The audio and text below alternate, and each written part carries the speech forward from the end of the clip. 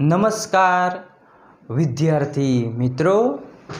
જ્ઞાનમંજરી વિદ્યાપીઠ Mahuva video લેક્ચરમાં આપ સૌનું હાર્દિક સ્વાગત છે. તો વિદ્યાર્થી મિત્રો, આજે આપણે ધોરણ બાર કોમર્સમાં વિષય વાણિજ્ય વ્યવસ્થા અને સંચાલન, જેમાં વિદ્યાર્થી મિત્રો, આપણે ચેપ્ટર નંબર છ દોરવણી વિશે અભ્યાસ કરી રહ્યા છીએ તો વિદ્યાર્થી મિત્રો, આપ સૌ લોકો જાણો છો કે દરેક ક્ષેત્રમાં, દરેક એકમમાં જ્યારે અસંખ્ય કર્મચારી કામ કરતા હોય, ખૂબ જ મોટા પ્રમાણમાં રોકાણ કરેલું હોય તેવી દરેક જગ્યાએ, દરેક ક્ષેત્રમાં માર્ગદર્શનની જરૂર પડે છે.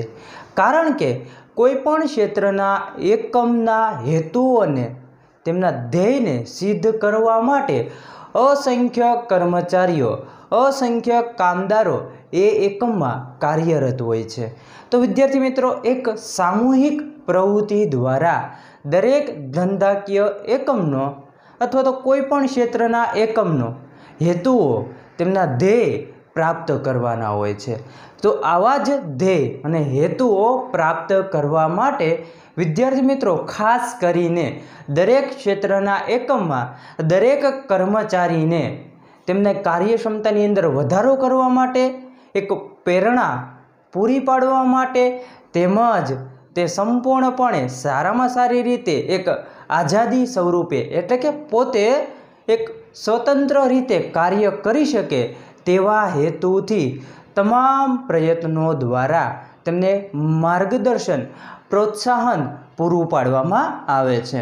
તો એ જ માર્ગદર્શન અને પ્રોત્સાહન પૂરું પાડવાનું કાર્ય દોરવણી દ્વારા શક્ય બને છે.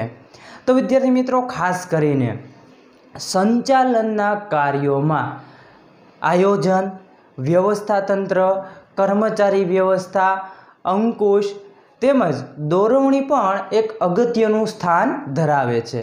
તો આવી રીતે વિદ્યાર્થી મિત્રો દરેક ક્ષેત્રમાં સફળતા મેળવવા માટે, નફાની અંદર વધારો કરવા માટે, ઓછા સમયની અંદર વધારે ઉત્પાદન કરવા માટે તેમજ સાધનોનો મહત્તમ ઉપયોગ કરવા માટે યોગ્ય માર્ગદર્શનની જરૂર પડે છે. યોગ્ય પ્રોત્સાહનની જરૂર પડે છે. તો એવા જ પ્રોત્સાહન દોરવણી દ્વારા આપવામાં આવે છે. તો વિદ્યાર્થી મિત્રો, ખાસ કરીને આગળના લેક્ચરમાં આપણે નાણાકીય પ્રોત્સાહન અને બિન નાણાકીય પ્રોત્સાહન વિશે અભ્યાસ કર્યો હતો. અને આવા બિન નાણાકીય પ્રોત્સાહન અને નાણાકીય પ્રોત્સાહન વિદ્યાર્થી મિત્રો, ખાસ કરીને કર્મચારીઓની કાર્યક્ષમતાની અંદર વધારો કરવા માટે તેમની કાર્યસિદ્ધિ છે એ આગળ વધારવા માટે, તેમના કાર્યના વખાણ કરવા માટે તેમજ ઉત્પાદનની અંદર વધારો કરવા માટે આવા તમામ પ્રકારના પ્રોત્સાહનો આપવામાં આવે છે.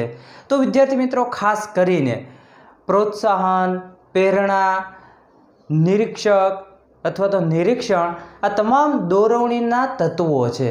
અને આજે પણ આપણે આ દોરવણીના તત્વોમાં એક એવા ક્ષેત્રની અંદર આપણે આજે અભ્યાસ કરવાનો છે, એક એવા વ્યક્તિત્વની આપણે વાત કરવાની છે કે જે વ્યક્તિ સમગ્ર ધંધાકીય એકમમાં જે કર્મચારી કાર્યરત હોય છે, તે કર્મચારી ઉપર પોતાનું નેતૃત્વ અથવા તો પોતે તે તમામ કર્મચારી સારામાં સારી રીતે કાર્ય કરી શકે તેવા પ્રભાવથી તે નેતૃત્વ પૂરું પાડતો વ્યક્તિ આજે એવા જ વ્યક્તિ વિશે આપણે વાત કરવાની છે.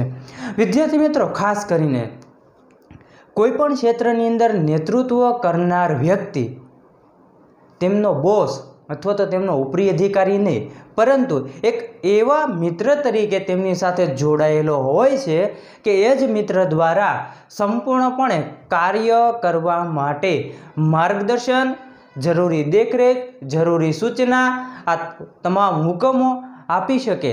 તો આવું કામ કરનાર વ્યક્તિ જે કાર્ય કરે છે, એ કાર્ય પદ્ધતિને નેતૃત્વ તરીકે ઓળખવામાં આવે છે, જેને લીડરશિપ તરીકે પણ ઓળખવામાં આવે છે. તો વિદ્યાર્થી મિત્રો, આજે આપણે આ જ નેતૃત્વ વિશે અભ્યાસ કરવાનો છે. તો નેતૃત્વના અભ્યાસમાં આગળ વાત આપણે કરીએ તો, જ્યાં વ્યક્તિઓ નેતૃત્વ ક્યાં કામ આવશે? નેતૃત્વની જરૂર ક્યાં પડશે? તો કે જ્યાં વ્યક્તિઓનું જૂથ હોય, ત્યાં નેતાગીરીનો પ્રશ્ન ઉદ્ભવે છે. જ્યાં સંપૂર્ણપણે જૂથ એટલે કે ઘણા બધા અસંખ્ય કર્મચારી કાર્યરત હોય, તેવા એકમમાં નેતાગીરીનો પ્રશ્ન ઉદ્ભવે છે. ઔદ્યોગિક એકમમાં કર્મચારીઓનું જૂથ કામ કરે છે. વિદ્યાર્થી મિત્રો, કોઈ પણ ઔદ્યોગિક એકમ હોય ને એ ઔદ્યોગિક એકમની અંદર હંમેશા જૂથ વર્ગ કર્મચારીનું કાર્યરત હોય છે. તો આ જૂથને નેતાગીરી પૂરી પાડવાની હોય તો એ નેતૃત્વ અથવા તો પરસ્પર પ્રોત્સાહિત કરવાની પ્રક્રિયા છે. નેતૃત્વ દ્વારા વ્યવસ્થા તંત્રની કાર્યક્ષમતામાં વધારો કરી શકાય છે અને વ્યવસ્થા તંત્રના માળખાને ધબકતું રાખી શકાય છે. નેતાગીરી કાર્યક્ષમ વ્યવસ્થા તંત્રની આધારશિલા છે. નેતા તેના વલણો અને વર્તન દ્વારા જૂથના અન્ય સભ્યોના પ્રયત્નને નિશ્ચિત દિશામાં લાવે છે. તો વિદ્યાર્થી મિત્રો ટૂંકમાં એક એવો ઔદ્યોગિક એકમ કે જ્યાં જૂથ એક જૂથ બનેલું હોય છે અને જૂથ બનીને ઘણા બધા કર્મચારીઓ કામ કરતા હોય છે.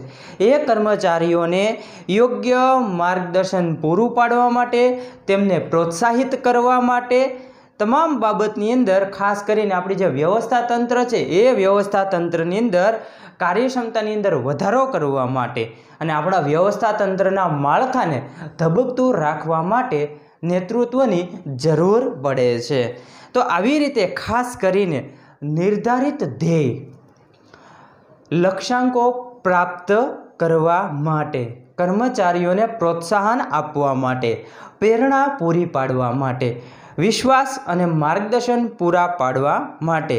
આથી નેતૃત્વ એ અન્ય માટે પ્રોત્સાહનનું સાધન છે.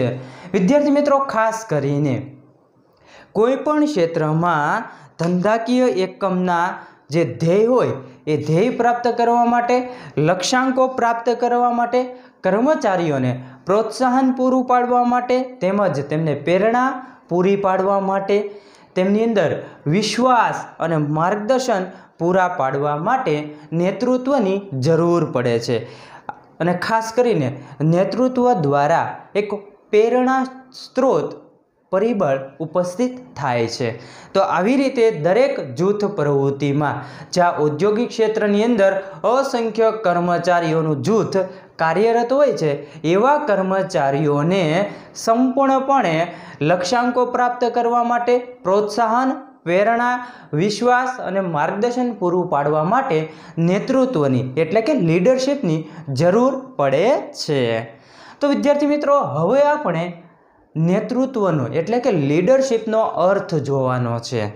તો કે કોઈ પણ ધ્યેયની સિદ્ધિ માટે લોકોને સ્વેચ્છતા, સ્વેચ્છાપૂર્વક પ્રયત્ન કરવા, લોકો ઉપર અસર ઉપજાવવાની પ્રવૃત્તિ અને ગુણને નેતૃત્વ કહી શકાય. વિદ્યાર્થી મિત્રો, નેતૃત્વ કોને કહેવાય? તો કે કોઈ પણ ધ્યેયની સિદ્ધિ, એટલે કે કોઈ પણ ધ્યેય હોય ને, એ ધ્યેયને પ્રાપ્ત કરવા માટે આપણી સાથે કાર્યરત કર્મચારી એટલે કે લોકો, એ લોકો સ્વેચ્છાપૂર્વક કાર્ય કરે અથવા તો સ્વેચ્છાપૂર્વક એ લોકો પ્રયત્ન કરે, એ પ્રયત્ન કરવા ઉપર આપણે અસર ઉપજાવવાની અને એ અસર ઉપજાવવાનું જે કાર્ય છે, એ કાર્યને, એ ગુણને નેતૃત્વ તરીકે ઓળખવામાં આવે છે. ટૂંકમાં અન્ય વ્યક્તિઓ ધ્યેય સિદ્ધ કરવાની ઈચ્છા, જાગૃત કરવાની કળા કે આવડત એટલે નેતૃત્વ. અન્ય વ્યક્તિઓ દ્વારા આપણે ધ્યેય પ્રાપ્તિ કરવાની હોય. કારણ કે આપણા એકમમાં અસંખ્ય કર્મચારીઓ કાર્યરત હોય છે. એ અસંખ્ય કર્મચારી દ્વારા આપણો ધ્યેય પ્રાપ્ત કરવાનો હોય છે. એટલા માટે અસંખ્ય કર્મચારીઓની ધ્યેયની પ્રાપ્તિ માટે તેનામાં જે જાગૃતતા લાવવામાં આવે છે, એ જ કળા અને એ જ આવડત એટલે નેતૃત્વ. અહીંયા આપણને એક સરસ મજાના સંચાલન શાસ્ત્રી છે, ડૉક્ટર જોઝ આર ટેરી. તેમને પણ આપણને નેતૃત્વની એક સારામાં સારી વ્યાખ્યા પૂરી પાડી છે, તો તેમનો આપણે અર્થ જોઈએ. તો વિદ્યાર્થી મિત્રો, ખાસ કરીને નેતૃત્વ એ જૂથ ઉદ્દેશોની સિદ્ધિ માટે જૂથ સ્વેચ્છાએ પ્રયત્નો કરે છે અને એ રીતે કર્મચારીઓ ઉપર પોતાનો પ્રભાવ પાડવાની એક પ્રવૃત્તિ, એટલે નેતૃત્વ. વિદ્યાર્થી મિત્રો, આપણા ધંધાકીય એકમની અંદર જે કર્મચારી છે, એ કર્મચારી ધ્યેય પ્રાપ્તિ માટે, ઉદ્દેશોની સિદ્ધિ માટે, સ્વેચ્છાએ જે કાર્યો કરે છે, એ કાર્યો કરાવવા માટે આપણે જે પ્રભાવ પાડવામાં આવે છે, એ પ્રભાવ પાડતી પ્રવૃત્તિને નેતૃત્વ તરીકે ઓળખવામાં આવે છે. આપ સૌ વિદ્યાર્થી મિત્રો જાણો છો કે કોઈ પણ કારખાનું હોય તો એ કારખાનાની અંદર ઘણા બધા કર્મચારી, ઘણા બધા કામદારો કામ કરતા હોય છે. એ કામદારો પોતાની રીતે સ્વેચ્છાએ કાર્ય કરે. એ કાર્ય શા માટે કરે? કારણ કે તેમના ઉપર જે ઉપરી અધિકારી છે, એટલે કે નેતૃત્વ કરનાર વ્યક્તિ છે, જેને આપણે સુપરવાઇઝર તરીકે અથવા તો એની ઉપરની પોસ્ટ તરીકે પણ આપણે એને ઓળખતા હોઈએ છીએ.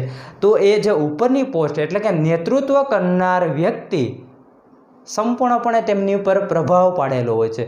તેમના ગુણ, તેમનું આવડત, તેમનું માર્ગદર્શન સંપૂર્ણપણે તેમના કર્મચારીઓને આપેલું હોય છે. એટલા માટે એ લોકો સ્વેચ્છાએ કાર્ય કરશે. તો આવી રીતે સ્વેચ્છાએ કાર્ય કરવા માટે જે પ્રભાવ પાડવામાં આવે છે, જે અસર ઉપજાવવામાં આવે છે તેને આપણે નેતૃત્વ તરીકે ઓળખવામાં આવે છે. તો વિદ્યાર્થી મિત્રો, હવે આપણે આ તમામ અભ્યાસ ઉપરથી નેતૃત્વના લક્ષણો જોવાના છે. તો વિદ્યાર્થી મિત્રો, ખાસ કરીને દરેક ક્ષેત્રની અંદર કાંઈક ને કાંઈક એમના લક્ષણો આપણને જોવા મળતા હોય છે. એવી જ રીતે દોરવણીના તત્વોમાં નેતૃત્વના એટલે કે લીડરશિપના લક્ષણો પણ આપણને જોવા મળે છે. તો વિદ્યાર્થી મિત્રો તમામ તેમના લક્ષણો આમ જોઈએ તો તેમનો જે અર્થ હોય એ અર્થના શબ્દો ઉપરથી જ બનતા હોય છે. તો આપણે ખાસ કરીને લક્ષણો યાદ રાખવા માટે જો એમનો અર્થ, તેમની વ્યાખ્યા વ્યવસ્થિત રીતે ધ્યાનપૂર્વક તેમનો અભ્યાસ કરવામાં આવે, તો પરિણામે કોઈ તકલીફ અથવા તો સમસ્યા ઉપજે નહીં. તો વિદ્યાર્થી મિત્રો, હવે આપણે તમામ લક્ષણો વિશે અભ્યાસ કરવાનો છે. તો કે ખાસ કરીને જ્યાં તાબેદારોનું અસ્તિત્વ. વિદ્યાર્થી મિત્રો, તાબેદારોનું અસ્તિત્વ હોય ને, ત્યાં આપણને નેતૃત્વ જોવા મળે મળે ને મળે. કારણ કે કર્મચારી, કામદારો જ્યાં હોય, ત્યાં આપણને નેતૃત્વ જોવા મળે. શું કામ? કારણ કે ઔદ્યોગિક એકમમાં એક, બે નહીં. પરંતુ અસંખ્ય કર્મચારીઓ કામ કરતા હોય એટલા માટે. તો પેલું જ લક્ષણ આપણને તાબેદારોનું અસ્તિત્વ. તો કે નેતા હંમેશા તાબેદારોને નેતૃત્વ પૂરું પાડે છે. આથી નેતૃત્વના અમલ માટે તાબેદારોનું અસ્તિત્વ હોવું જરૂરી છે. તો વિદ્યાર્થી મિત્રો, નેતા છે ને, એ હંમેશા તાબેદારોને નેતૃત્વ પૂરું પાડે છે. આથી નેતૃત્વના અમલ માટે તાબેદારો એટલે કે કર્મચારી હોવા જરૂરી છે. તો ટૂંકમાં જ્યાં અસંખ્ય કર્મચારી કાર્યરત હોય છે, ત્યાં આપણને નેતૃત્વ જોવા મળે છે. શું જોવા મળે છે? નેતૃત્વ જોવા મળે છે. તો આવી રીતે, વિદ્યાર્થી મિત્રો, નેતૃત્વનું પહેલું લક્ષણ તાબેદારોનું અસ્તિત્વ હોવું જરૂરી છે. તો જ આપણને નેતૃત્વ જોવા મળે છે. પછીના પોઈન્ટ ઉપર આપણે વાત કરવાની છે, સતત પ્રક્રિયા.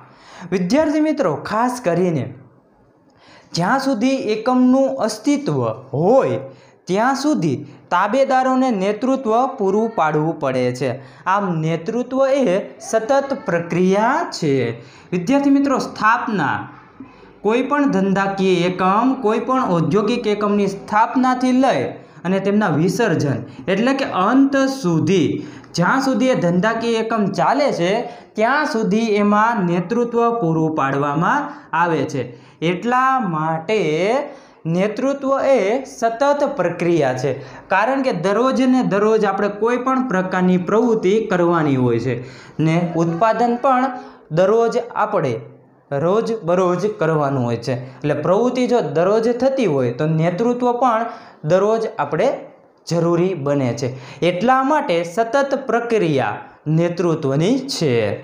નેતૃત્વનો સ્વીકાર વિદ્યાર્થી મિત્રો, નેતૃત્વનો સ્વીકાર. પછીના લક્ષણની વિશે આપણે વાત કરવાની છે. તો કે નેતૃત્વ માટે નેતા અને તાબેદારો હોવા જરૂરી છે. નેતાનો સ્વીકાર તાબેદાર દ્વારા થવો જોઈએ. નેતા દોરવણી આપે છે અને તાબેદારો તેને અનુસરે છે. શું કહેવામાં આવ્યું છે વિદ્યાર્થી મિત્રો? નેતૃત્વનો સ્વીકાર થવો જોઈએ. કોઈ પણ એકમમાં તાબેદારો હોવા જોઈએ. તો જ નેતૃત્વ છે એ શક્ય બને. અને એ જ તાબેદારો નેતાનો સ્વીકાર કરવા જોવે. તો ટૂંકમાં સ્વીકાર એટલે કે નેતૃત્વ દ્વારા નેતૃત્વ કરનાર વ્યક્તિ જે દોરવણી આપે, એ દોરવણી તમામ તાબેદારોએ તેને અનુસરવાનું હોય છે. એટલા માટે નેતૃત્વનો સ્વીકાર એ નેતૃત્વનું લક્ષણ જોવા મળે છે. જે દરેક તાબેદારોએ તેમનો સ્વીકાર કરી અને તે પ્રમાણે કાર્યને અનુસરવું જોઈએ. પછીના પોઈન્ટ ઉપર આપણે વાત કરીએ, અવૈધિક અને પ્રભાવ ઊભા કરી શકે તેવા સંબંધો. વિદ્યાર્થી મિત્રો, ખાસ કરીને મેં તમને પહેલાં પણ વાત કરી હતી કે તાબેદારો અને નેતૃત્વ કરનાર વ્યક્તિ બંને એક વ્યક્તિ જ છે. બંને માનવી જ છે. પરંતુ બંનેની વચ્ચે એક સારા સંબંધ ઊભા થવા જોઈએ. જો સારા સંબંધ ઊભા થાય, તો પરિણામે કાર્યક્ષમતાની અંદર વધારો થાય.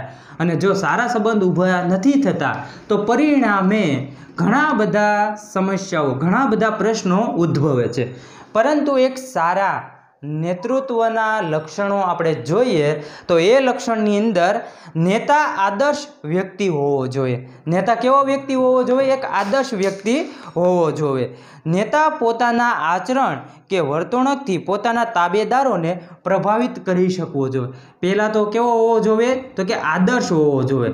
પછી નેતા તેની કામગીરીથી સંપૂર્ણપણે પ્રભાવિત અને તેમના વર્તનથી પણ દરેક તાબેદારોને શું કરવો જોઈએ પ્રભાવિત કરી શકવો જોઈએ ખાસ કરીને તેના પરિચયમાં આવતી વ્યક્તિના વર્તન ઉપર અસર ઉપજાવી શકે અને ધ્યેય સિદ્ધિ માટે તેમને પ્રેરિત કરી શકે. તો વિદ્યાર્થી મિત્રો, ખાસ કરીને એક એવા સંબંધની સ્થાપના નેતૃત્વ કરનાર વ્યક્તિએ, એટલે કે નેતાએ કરવાની છે કે એ નેતાની સાથે જે પરિચિત એ નેતૃત્વ કરનાર વ્યક્તિ એટલે કે નેતાની સાથે જે પરિચયમાં આવનાર કામદાર, કર્મચારી છે, એ કર્મચારી ઉપર એક આદર્શ, એક પ્રભાવિત છાપ ઊભી કરવી, તેવું વર્તન તેમને કરવું જોઈએ. તો આવી રીતે તેમને પ્રેરિત કરવા માટે એક સારામાં સારા સંબંધો ઊભા કરવા જોઈએ.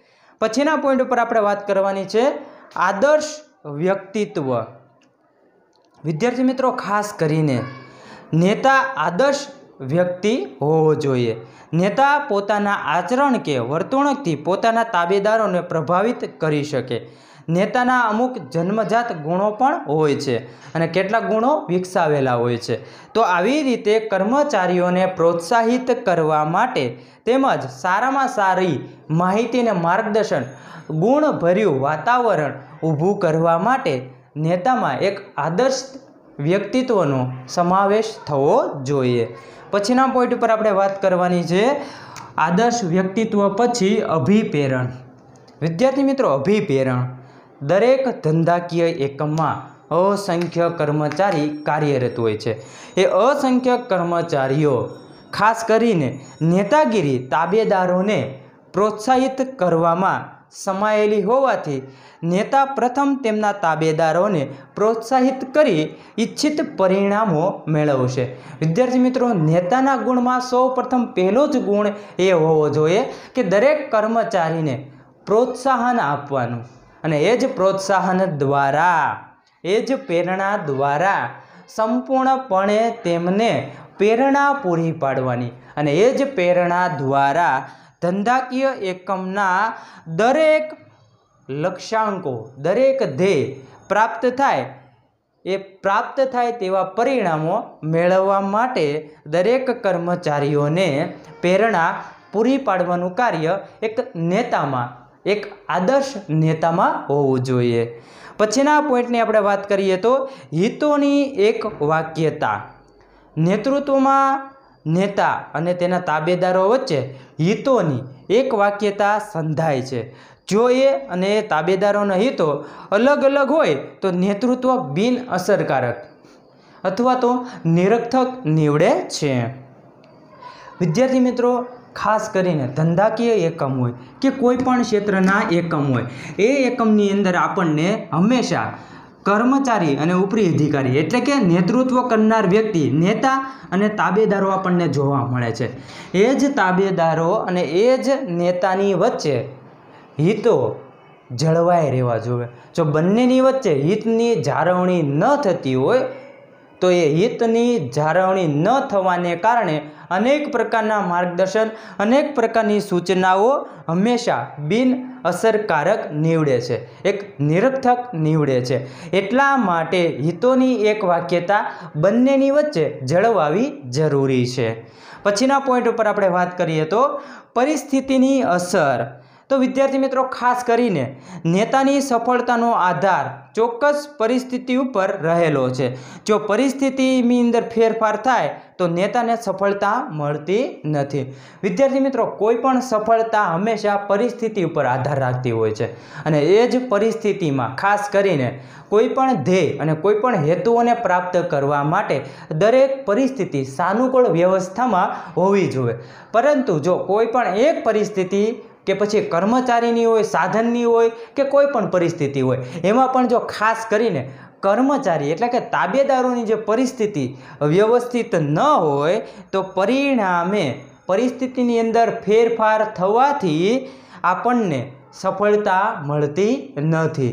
તો ટૂંકમાં નેતૃત્વના લક્ષણોમાં એક પ્રભાવશાળી વ્યક્તિત્વ, એક આદર્શ વ્યક્તિત્વ, એક ગુણવાન વ્યક્તિત્વ અને એક સારામાં સારું વર્તનવાળું વ્યક્તિત્વ તેમના કર્મચારીઓને માત્ર ને માત્ર તાબેદારો નહીં, કર્મચારીઓ નહીં, પરંતુ એક મિત્રતાભર્યું વાતાવરણ સાથે તેમની સાથે કામ કરવા માટે જોડાય, તેમને માર્ગદર્શન આપે, તેમને પ્રેરણા પૂરી પાડે, તેમને સતત ધ્યાન કેન્દ્રિત કરે, કાર્યક્ષમતાની અંદર વધારો કરવા માટે યોગ્ય માહિતી પૂરી પાડે તો આવા તમામ પ્રકારના જે કાર્યો કરે છે, તે કાર્ય કરનાર વ્યક્તિને નેતૃત્વ કરનાર વ્યક્તિ તરીકે ઓળખવામાં આવે છે.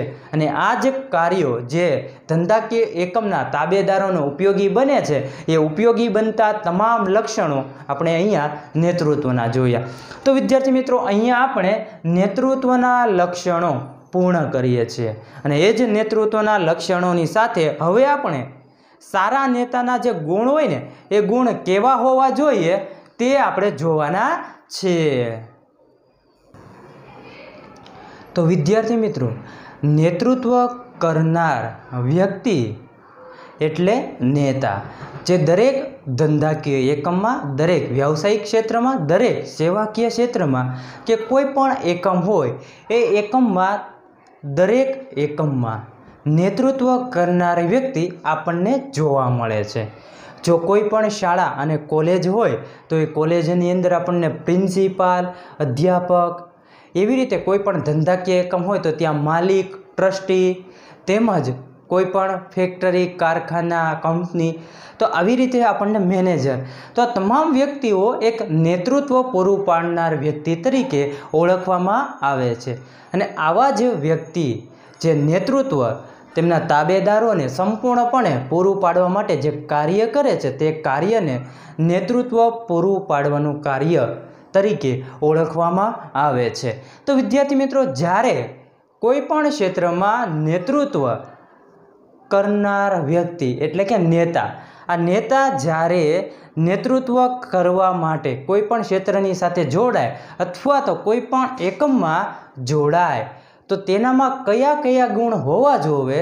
જે ગુણ ખાસ કરીને ધંધાકીય એકમમાં સફળતા મેળવવા માટે, કર્મચારીઓના પ્રોત્સાહનની અંદર અને કાર્યક્ષમતાની અંદર વધારો કરવા માટે, તેમજ ધંધાકીય એકમના અથવા તો કોઈ પણ ક્ષેત્રના હેતુઓ ધ્યેય સિદ્ધ કરવા માટે નેતામાં ત્રણ મહત્ત્વના ગુણો હોવા જરૂરી છે.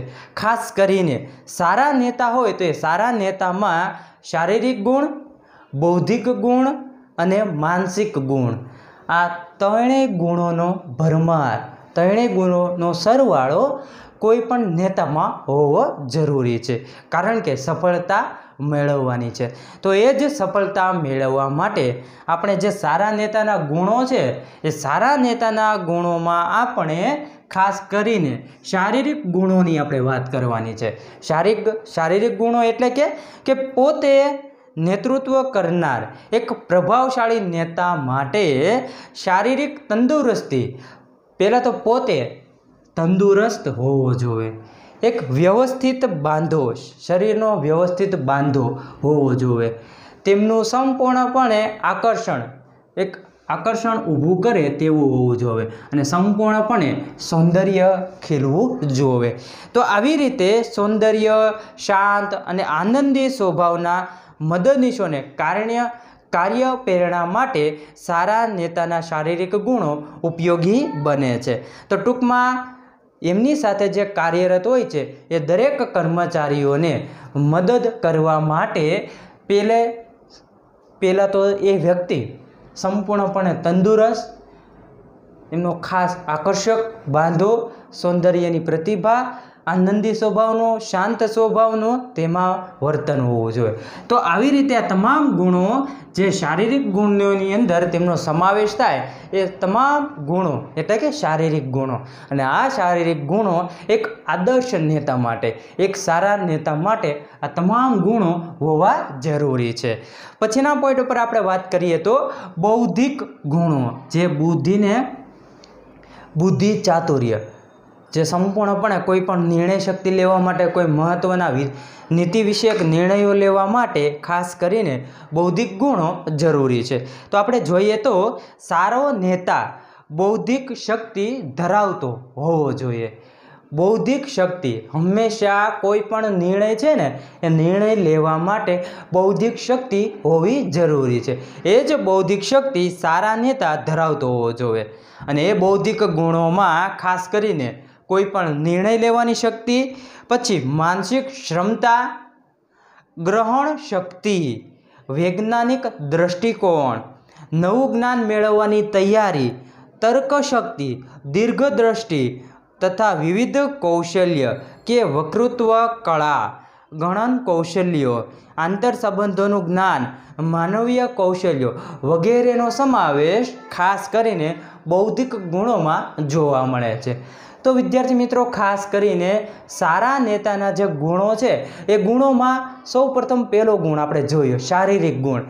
કે જે કર્મચારી એક નેતૃત્વ કરનાર વ્યક્તિ છે, જે નેતા છે, એ નેતામાં તમામ શારીરિક ગુણ તો હોવા જ જોવે, પરંતુ એક શારીરિક ગુણની સાથે સાથે ધંધાકીય એકમની અંદર તમામ પરિવર્તનો, તમામ સમસ્યાઓ, તમામ નીતિ વિષયક નિર્ણયો, તમામ કૌશલ્ય, તમામ વૈજ્ઞાનિક દૃષ્ટિકોણ તમામ માનવીય કૌશલ્યો, આ તમામ બાબતોનો સમન્વય સાથે તે જ નેતા બૌદ્ધિક ગુણો પણ ધરાવતો હોવો જોઈએ. તો આવી રીતે સારા નેતાના ગુણોમાં શારીરિક શારીરિક ગુણ હોવા જોઈએ, બૌદ્ધિક ગુણ હોવા જોઈએ અને ત્રીજું, માનસિક ગુણોનો ભરમાર પણ એ નેતામાં જોવા મળવો જોવે તો એ ગુણની આપણે વાત કરીએ તો વિદ્યાર્થી મિત્રો, ખાસ કરીને મનોવૈજ્ઞાનિક ગુણોમાં પ્રભાવશાળી વ્યક્તિત્વ, ઉત્સાહ, સાહસિકતા સહકારની ભાવના, બુદ્ધિ ચાતુર્ય, કાર્ય રુચિ, લાગણી તથા વિવેક વર્તનનો સમાવેશ માનસિક ગુણોમાં થાય છે. તો વિદ્યાર્થી મિત્રો, ખાસ કરીને કોઈ પણ નેતા, એક સારા નેતાની આપણે વાત કરીએ તો એ સારા નેતાની અંદર માનસિક ગુણોમાં તેમનું વ્યક્તિત્વ પ્રભાવશાળી હોવું જોઈએ. પોતે ઉત્સાહભર્યો અને બીજાને પણ ઉત્સાહમાં રાખનારો હોવો જોઈએ. સાહસિકતા, નવું નવું સાહસ કરવા માટે પોતે એક સાહસિક હોવો જોઈએ. દરેક સાથે સહકારની ભાવના સાથે વર્તન કરવું જોઈએ. ખાસ કરીને તેમની જે બુદ્ધિ ચાતુર્ય છે, એ બુદ્ધિ યોગ્ય હોવી જોઈએ. જે ચાતુર્ય એક ચતુર વ્યક્તિત્વ હોવું જોઈએ. તેમની કાર્ય કરવાની રુચિ કંઈક અલગ પ્રકારની હોવી જોઈએ. તથા લાગણી અને વિવેક વર્તન સાથે દરેક વ્યક્તિ સાથે જોડાઈ રહેલું જોઈએ. તો વિદ્યાર્થી મિત્રો, અહીંયા આપણે સારા નેતાના ગુણો જોયા. જે સારા નેતાના ગુણોમાં શારીરિક ગુણ, બૌદ્ધિક ગુણ અને માનસિક ગુણ. આ ત્રણ ગુણનો જો સમાવેશ થાય, તો એક આદર્શ નેતા તરીકે પોતે પોતાનું કાર્ય કરી શકે છે. અને સારામાં સારી છાપ સારામાં સારું તેમનું વ્યક્તિત્વ દરેક ઉપર પ્રભાવશાળી વ્યક્તિત્વ પાડી પાડી શકે છે. તો વિદ્યાર્થી મિત્રો, ખાસ કરીને જ્યારે કોઈ પણ એકમ જ્યારે મોટા પાયાનું રોકાણ કરવામાં આવે અને એ જ મોટા પાયાના એકમમાં જો આપણને નેતૃત્વ કરવાનો મોકો મળે, તો એ નેતૃત્વ કરવાના મોકામાં, એ ફરજમાં આપણે આ તમામ ગુણો ધરાવતા હોવા જોઈએ. અને જો આ ગુણો આપણે ન ધરાવીએ, તો પરિણામે કંઈક ને કંઈક આપણને નિષ્ફળતા મળે છે.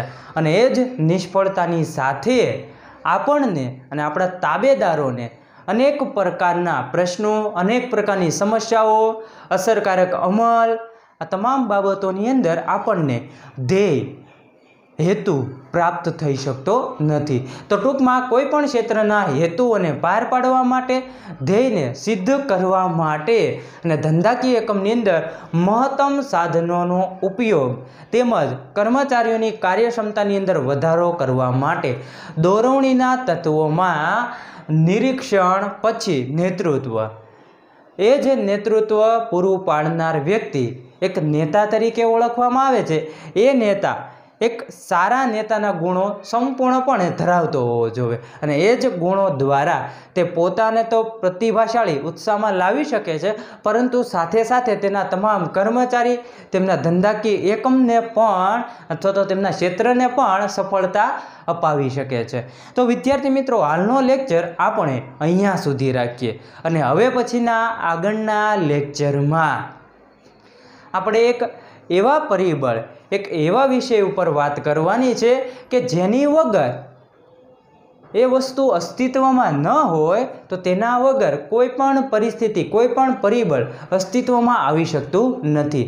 કારણ કે કોઈ પણ ક્ષેત્રની અંદર કોઈ પણ પ્રવૃત્તિ થાય, તો એ પ્રવૃત્તિ કરવા માટે વાર્તાલાપ જરૂરી છે. અને એ જ વાર્તાલાપ એકબીજાની સાથે થતો હોય છે. ઉચ્ચ સપાટીથી મધ્ય સપાટી, મધ્ય સપાટીથી તળ સપાટી સુધી. તો એ દરેક કર્મચારીઓને જે કાંઈ માહિતી પહોંચાડવામાં આવે, એ માહિતી ઉપરથી નીચે તરફ હોઈ શકે, તો તેને આપણે માહિતી સંચાર તરીકે ઓળખવામાં આવે છે. તો વિદ્યાર્થી મિત્રો, હવે પછીના આગળના લેક્ચરમાં અને દોરવણીના અંત ભાગમાં, એટલે કે દોરવણીનું ચેપ્ટર, માહિતી સંચારનો અભ્યાસ પૂર્ણ કર્યા પછી આ ચેપ્ટર પણ પૂર્ણ થઈ જશે. એટલા માટે હવે પછીના લેક્ચરમાં આપણે માહિતી સંચાર એટલે શું, તેમનો અર્થ, તેમના લક્ષણો અને માહિતી સંચારની તમામ પદ્ધતિઓ વિશે હવે પછીના આગળના લેક્ચરમાં આપણે અભ્યાસ કરવા માટે ફરી એક વખત મળીશું.